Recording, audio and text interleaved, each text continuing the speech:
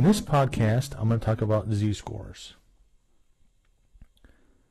Z-scores measures distance of raw scores from the mean.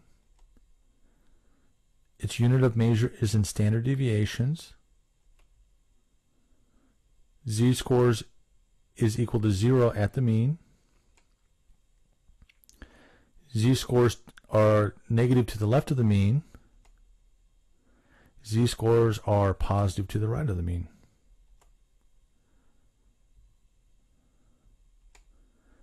So we have a bell curve, and right in the middle is the mean.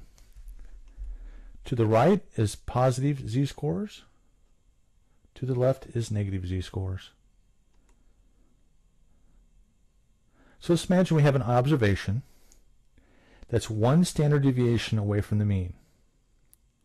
If we wanted to know what is the probability of, of an observation being between 0 and 1 standard deviation away from the mean, you'd look that up in the back of your book. And the value there would be, should be, 34%. Now, if you remember, the bell curve is symmetrical. So, the area from 0 to negative 1 standard deviation away from the mean is also 34%.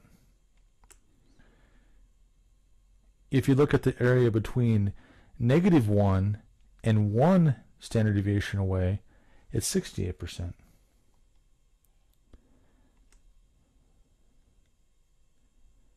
Now a common z-score is 1.96 and that means that 47.5% of the observations will fall between 0 and 1.96 standard deviations away from the mean.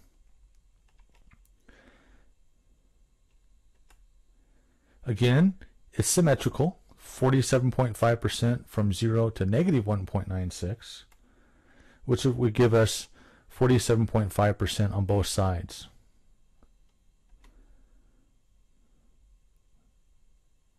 There is 95% chance that any observation will be between a negative 1.96 and positive 1.96.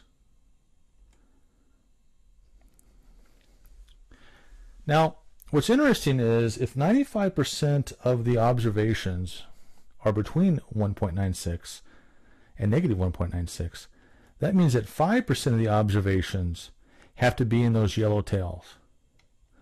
And we get that by saying 5% plus 95% is equal to 100%. So basically 95% in the middle plus those two yellow tails is 100% of everything.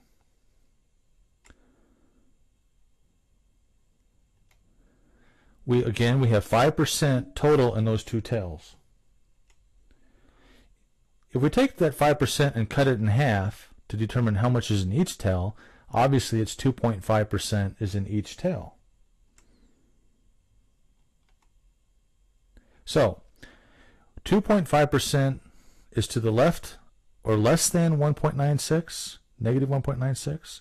There's 95% in the middle, and there's 2.5% chance that an observation will be greater than 1.96 standard deviations away from the mean.